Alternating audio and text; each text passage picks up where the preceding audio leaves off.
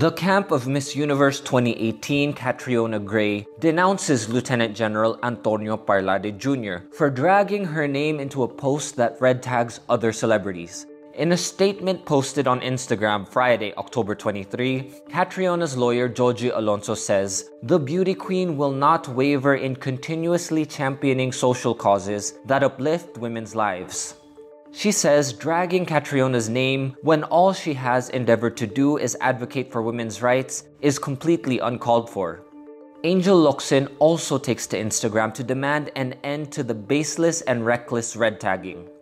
Angel sets the record straight. She is not part of the New People's Army or NPA or any terrorist group, nor is her sister or her relative, human rights lawyer Neri Colmenares, this comes after Parlade cautions Liza Soberano that she might suffer the same fate of activist Josephine Lapira if she continues her ties with women's rights group Gabriela. Lapira was killed in 2017 in a clash between the military and the rebels. Parlade mentions Catriona and Angel in his warning. In an interview with ANC's Head Start, Parlade denies red tagging Angel and her sister. He says he is just informing the public that Angel's sister is a member of an underground organization despite having no evidence. He adds, he just wants Soberano to understand what he calls the duplicitous nature of Gabriela. He claims a lot of its members, quote, died in the mountains fighting with the government. Parlade, a spokesperson of the National Task Force to End Local Communist Armed Conflict, released his statement days after Soberano guested in Gabriela Youth's webinar. Motorcycle ride-hailing apps like Angkas and Joyride are now allowed to operate. Calls for motorcycle taxis to resume operations grow as the government allowed more types of business establishments to reopen to augment limited public transportation. Back riding in motorcycles was previously limited to people from the same household. The country's coronavirus task force also approves a 30% seating capacity for religious gatherings like masses in general community quarantine areas like Metro Manila. The decision comes as the predominantly Catholic country gears up for the Christmas season when attendance to Simbang Gabi or night mass is a tradition.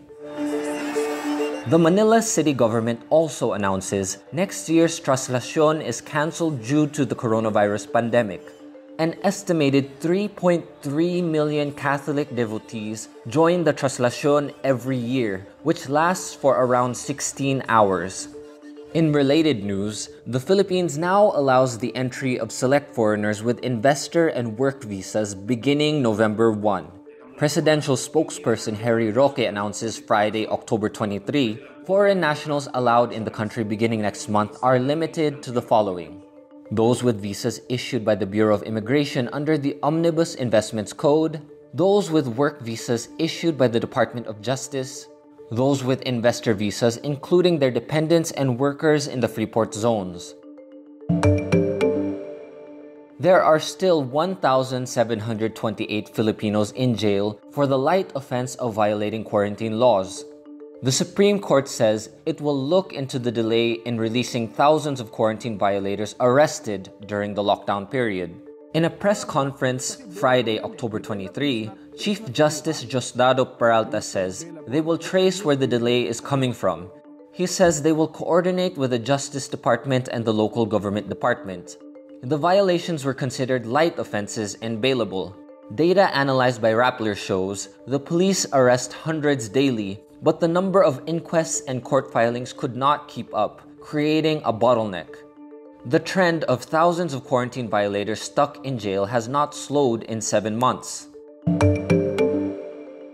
United States President Donald Trump claims he is the least racist person in the room during the final presidential debate against Democratic challenger Joe Biden, the issue on racism is brought up during the debate Friday, October 23 Manila time, less than two weeks before the November 3 elections. Trump's pronouncement is a stark contrast to his racist statements and policies.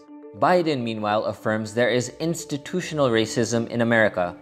He calls for better education, better healthcare, better access to schooling, better access to opportunity to borrow money to start businesses for all Americans, Biden also denounces Trump for befriending North Korea's leader Kim Jong un, who he calls a thug. The Democratic challenger says Trump's friendship with Kim is like saying we had a good relationship with Hitler before he invaded Europe. For the debate's final question, Biden is asked what he would say during his inaugural address to Americans who did not vote for him.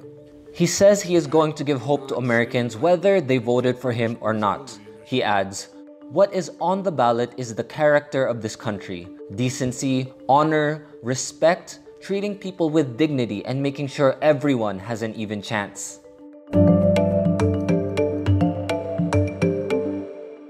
A post claiming the Philippines was the most literate country in Asia under the regime of dictator Ferdinand Marcos is false. The post on Facebook page BBM Youth Advocate also claims the country's literacy rate dropped after Marcos was ousted as a result of the 1986 People Power Revolution. It was posted on May 27 but was still being shared in June. Data from the World Bank and UNESCO shows the Philippines was not the most literate country in Asia, at least from 1980 to 1986.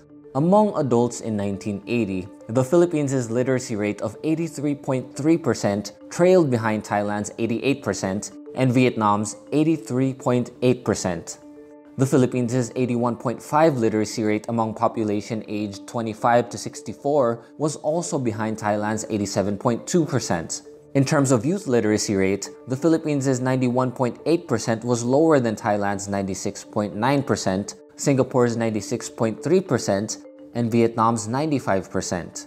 The country's literacy rate also went up post Marcos. The same set of data from the World Bank shows the adult literacy rate in the Philippines went up to 93.6% by 1990. As of 2015, the country's literacy rate is 98.2%, the highest since 1980.